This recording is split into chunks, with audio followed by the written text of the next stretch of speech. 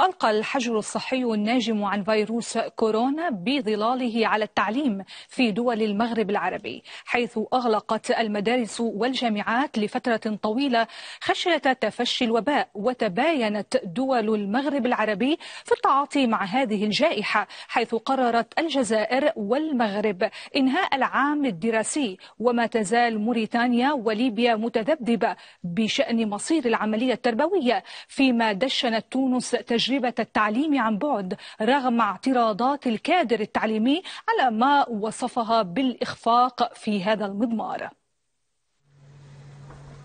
فيروس كورونا فرض واقعا تعليميا جديدا كما فرض واقعا حياتيا مختلفا. أصبح التعليم عن بعد وعبر منصات تلفزيونية وافتراضية. قد تفضل الأجيال الحديثة التي تجيد التكنولوجيا الوضع المستجد وقد يفتقد بعضهم الأجواء التعليمية الطبيعية وتشكو المدارس الفراغ. لكن الوباء في كل الأحوال فرض آثاره على عملية التعليم في دول المغرب العربي. فالتدريس الإلكتروني والتلفزيوني يلاقي انتقادات للطريقة التي اعتمدتها وزارات التعليم. والفرص غير متكافئة في التعليم عن بعد بالنسبة لتلاميذ الريف والقرى فهي معزولة عن شبكات الإنترنت ولا تمتلك أجهزة حاسوب واستقرار الإمداد الكهربائي رفاهية مبتغى. تونس اختارت أن تكون تعليماتها واضحة منذ البداية وحددت عودة الدراسة لفصول دراسية بعينها في تاريخ قريب بينما تؤجل أخرى. الجزائر جمدت العام الدراسي وألغت امتحانات شهادة التعليم الابتدائي والانتقال أصبح يتم باحتساب المعدلات. المغرب ورغم استراتيجيته في التنمية وتطوير التعليم الإلكتروني وتعميمه أجل الدراسة بالكامل في جميع المراحل حتى العام الدراسي المقبل وألغيت الامتحانات. في ليبيا العودة التدريجية ستكون للشهادتين الإعدادية والثانوية تليهما مراحل التعليم الأساسي وفق الوضع الوبائي للفيروس. أما موريتانيا فبدأت بتغيير عملية التدريس بتقديم دروس على القناة التلفزيونية التابعة للدولة. اقتصرت على السنوات النهائية من مراحل التعليم الابتدائي والثانوي.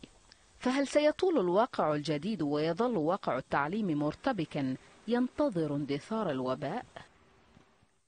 ولمناقشة هذا الموضوع ينضم إلينا السيد سالم بلبابة أستاذ تعليم ثانوي في وزارة التربية من تونس. سيد سالم أهلا بك. ما الذي كشفته هذا هذه الجائحة بالنسبة للمنظومة التعليمية في دول المغرب العربي وما انعكاساته أيضا على مستقبل قطاع التعليم في هذه الدول؟ شكرا لك ومساء الخير أخت ريما. طبعا هذه الجائحة هنا جائحة كورونا كشفت من جديد هشاشة البنية التحتية هنا على مستوى خاصة المستوى التعليمي وعدم إمكانية مثلا في الحالات الطارئة والاستثنائية عدم إمكانية الاعتماد على التعليم عن بعد.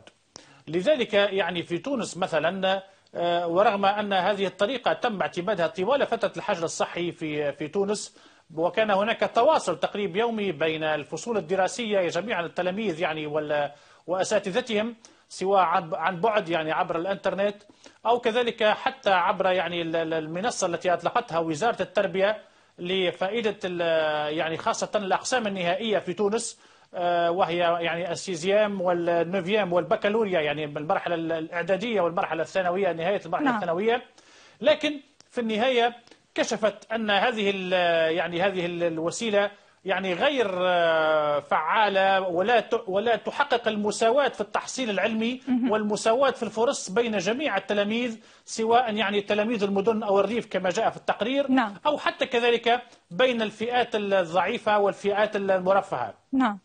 طب سيد سالم بالنسبة لقرار وزارة التربية عودة الدراسة لفصول دراسية معينة ما رأي الكادر التعليمي في هذه الخطوة وهل هي مجدية قبل أشهر من انتهاء العام الدراسي؟ نعم في تونس أختي العزيزة حصل حوار كبير وحوار جدي بين وزارة التربية والطرف النقابي الطرف النقابي في تونس نقابة التعليم الثانوي ونقابة التعليم الأساسي أطراف قوية جدا داخل الساحة النقبية والسياسية في تونس وحتى كذلك الساحة طبعا التعليمية. ووزارة التربية بالاشتراك مع نقابات التعليم قامت بإعداد رزنامة لإنقاذ السنة الدراسية وتم التوافق حولها يعني بين وزارة التربية وهذه الأطراف النقبية لتوفير أقصى شروط السلامة وضمان إنقاذ السنة الدراسية. لذلك تم الاعتماد مثلا على إنهاء السنة الدراسية بالنسبة لمختلف الفصول والإبقاء فقط على المناظرات الوطنية. يعني تم اعتماد مثلا هنا بالنسبة لكافة فصول التعليم على الارتقاء اعتمادا على التحصيل طبعا في تونس هناك التعليم هناك ثلاثة ثلاثيات ثلاثي أول وثاني وثالث ثلاثة معدلات يعني. نعم. تم الاكتفاء بالمرحلة الأولى والثانية لاحتساب المعدل للارتقاء. ولكن تم احتس... وإنهاء السنة الدراسية بالنسبة لهذه المستويات لكن تم طبعا الإبقاء على إجراء المناظرات الوطنية ويوم إذا الإبقاء على إجراء المناظرات الوطنية لكن يعني هناك قرار بإنهاء العام الدراسي لكل الفصول. نعم بالنسبة لكل المستويات الأخرى تم إنهاء السنة الدراسية. نعم. وتم الإبقاء فقط على المناظرات الوطنية. مناظرة البكالوريا أو مناظرة يعني ختم التعليم المرحلة الثانوية هذه طبعا سيقع استئناف الدروس لمدة شهر لتلافي ما بقي من البرنامج الدراسي.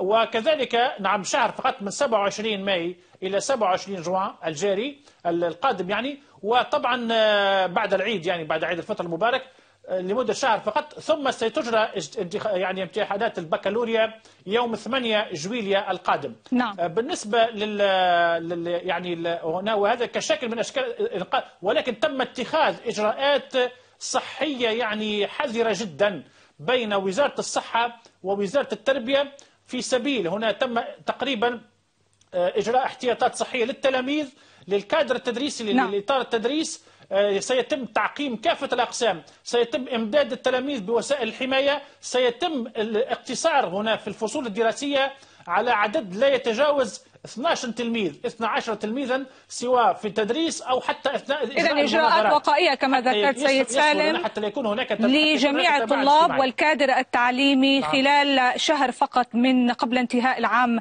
الدراسي لصفوف معينة. شكرا جزيلا لك من تونس سالم بلبابه أستاذ تعليم ثانوي في وزارة التربية.